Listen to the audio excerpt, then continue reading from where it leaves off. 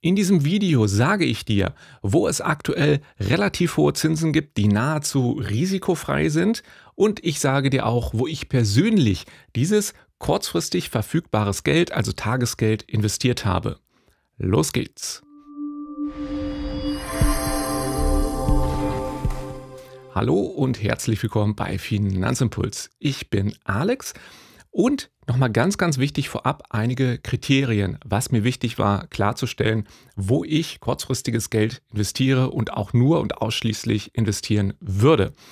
Also ist es erstmal ganz wichtig, dass diese Investition extrem risikoarm ist, sodass man quasi von einem risikolosen Investment sprechen kann.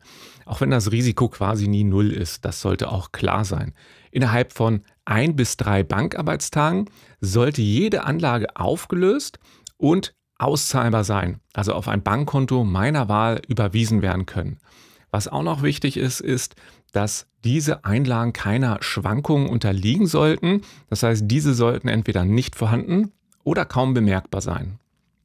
Die Möglichkeit Nummer eins, die ist offensichtlich und auch aktuell relativ bekannt.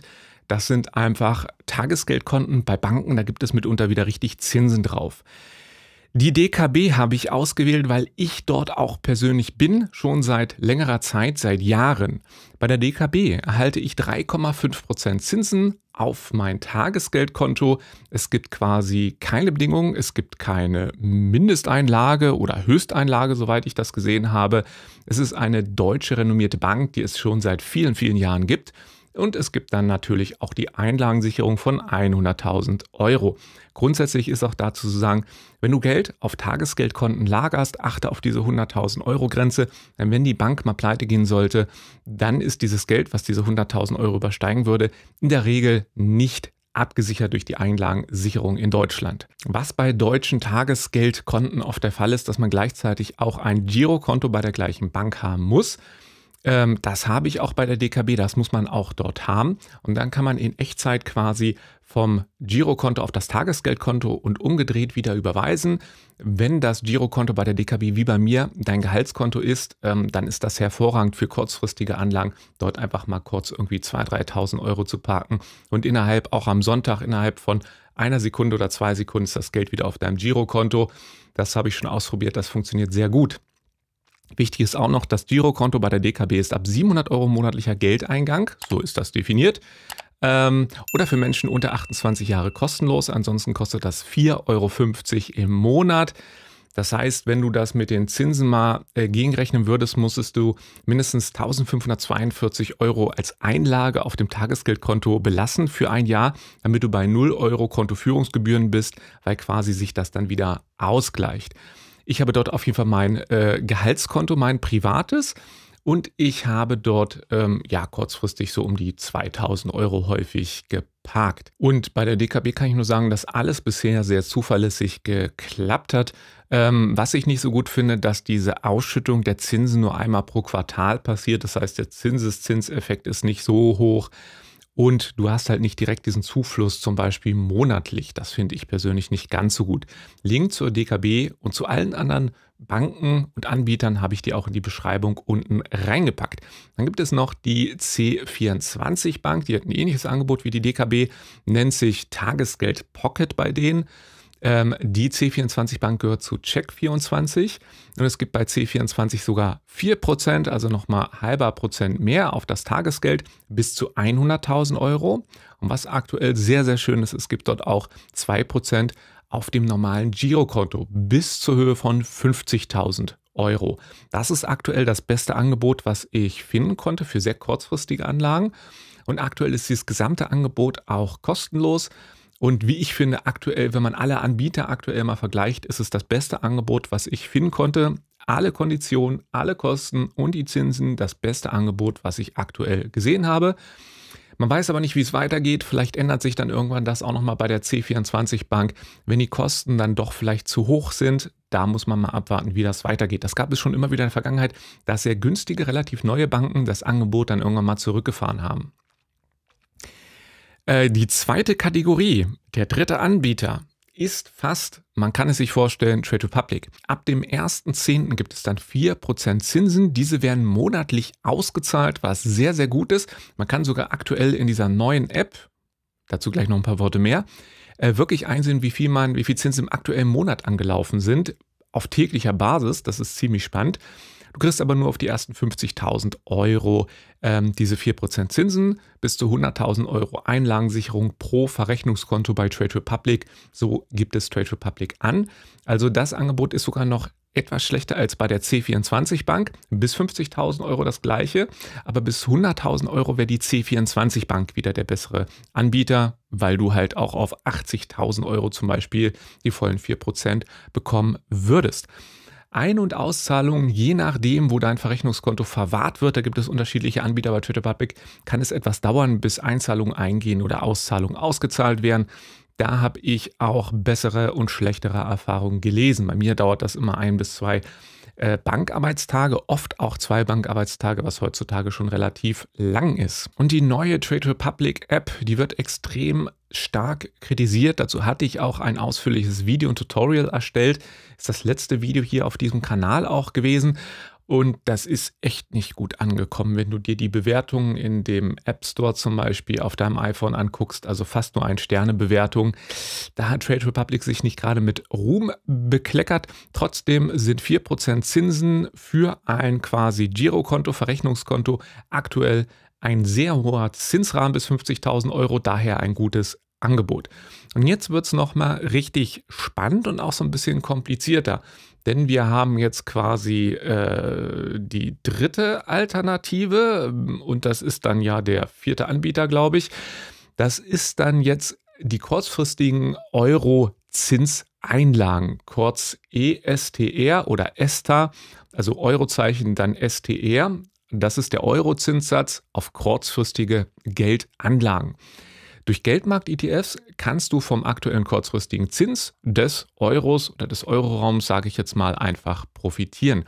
Hier gibt es keine Grenzen nach oben, ist also auch für sehr große Vermögen und relativ kurzfristig auch sinnvoll. Große Vermögen heißt, also C24 hatten wir ja Einlagensicherung 100.000 Euro. Und wenn du darüber hinausgehst, hast du halt relativ wenig Sicherheit, wenn die Bank pleite gehen sollte, hatte ich ja vorhin schon gesagt. Und hier kannst du zum Beispiel in diesen Geldmarkt-ETFs auch mal ein, zwei, zehn Millionchen, mal 100 Millionchen parken. Das machen auch die sehr, sehr Reichen mit ihrem Vermögen, dass die in solche Dinge kurzfristig investieren. Ich nutze dafür persönlich den X-Trackers 2 Euro Overnight Rate Swap ETF. WKN DBX0AN habe ich dir auch alles in der Beschreibung verlinkt. Ähm, dieser ETF kostet 0,1%, laufende Kosten pro Jahr. Das heißt, von diesem Zins musst du einfach nur nochmal 0,1% dann abziehen. Der Spread, ganz, ganz wichtig, darauf achten, der ist nur bei 0,01%, also pro Kauf und Verkauf hast du 0,01%, wenn du dieses Produkt zwischen 12 und 14 Uhr äh, kaufst oder verkaufst. Also hier musst du echt streng auf die Handelszeiten achten. Gerade nachbörslich sind diese Spreads dort sehr, sehr hoch bei diesem Produkt. Den ETF gibt es auch zum Beispiel bei Finanzen.net Zero, Scalable Capital und Trade Republic. Also bei allen größeren Brokern gibt es dieses Produkt. Hast du da ein Depot, kannst du das auch jetzt schon nutzen, ohne großen Aufwand. Auch hier alle Anbieter sind unten in der Beschreibung verlinkt. Ich habe bei Finanzen.net Zero ungefähr 2350 Euro geparkt, äh, bin dort 13,09 Euro im Plus. Bei Scalable Capital habe ich 968 Euro geparkt, aber erst seit kurzem bin ich mit 2,33 Euro im Plus. Auch bei Finanzen.net Zero habe ich das noch gar nicht so lange ähm, investiert. Und ja, das ist einfach Geld, was sehr liquide dort rumliegen soll. Und anstatt keine Zinsen zu bekommen, bekomme ich die halt. Wie hoch die sind, äh, sage ich gleich dann noch. Ganz, ganz wichtig ist, such mal nach diesem ETF in deinem Depot und dann guck dir mal den Chart an. Und dann wirst du sehen, dass eine Volatilität kaum vorhanden ist. Und diese, dieser Chart geht aktuell wirklich ähm, fließend nach oben und es ist mit dem ähm, ESTA-Zinssatz ja gekoppelt und du musst nur diese 0,1% an Kosten abziehen.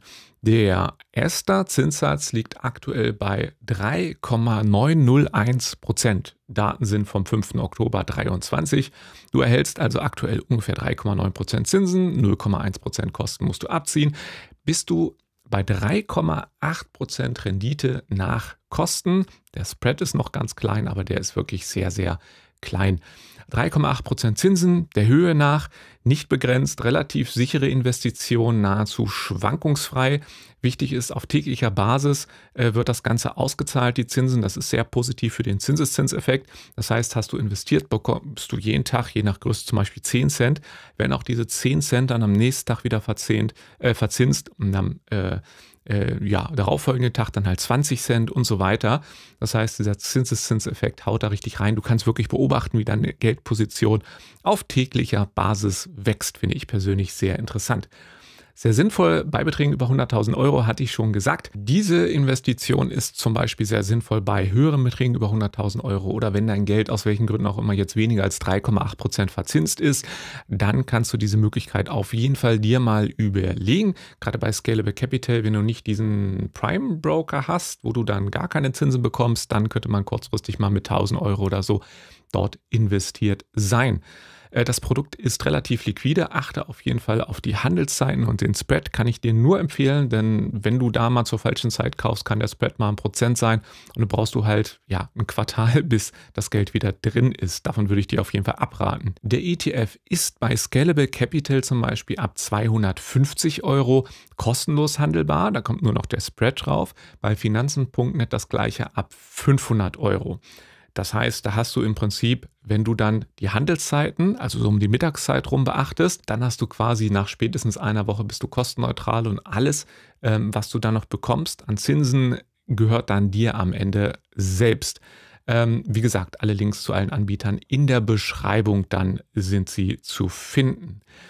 Viele Banken haben Zinslaufzeiten befristet. Das heißt, man bekommt nur zum Beispiel bis zum 31.12.2023 3,5 oder auch 4% Zinsen.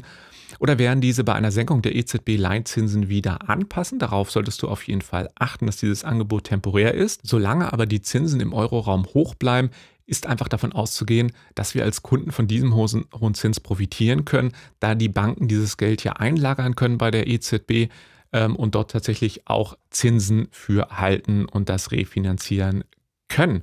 Es gibt aber noch ein Problem. Der Zins liegt noch immer unter der aktuellen Inflation von ungefähr 4,5 Prozent im September 23. Nicht nur ungefähr, sondern das war sogar die Zahl.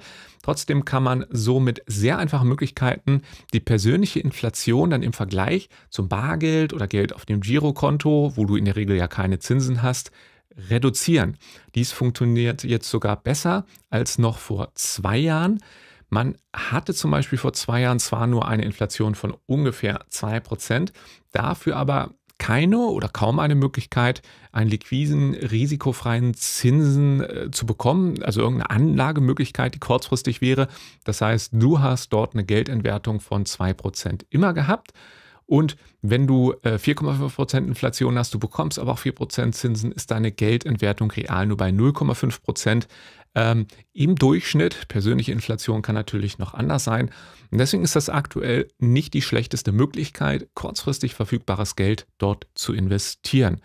Ähm, ganz, ganz wichtiger Punkt ist auch noch, Anleihen, Staatsanleihen und Unternehmensanleihen habe ich ganz bewusst in diesem Video nicht genannt, denn diese sind weder risikofrei noch schwankungsarm. Insbesondere Kursschwankungen unterleiden die auf jeden Fall. Also wenn man sich da Anleihen anguckt im Monatsverlauf, dann hat man oft mal plus minus zwei Prozent, unabhängig vom intrinsischen laufzeitbegrenzten Zins.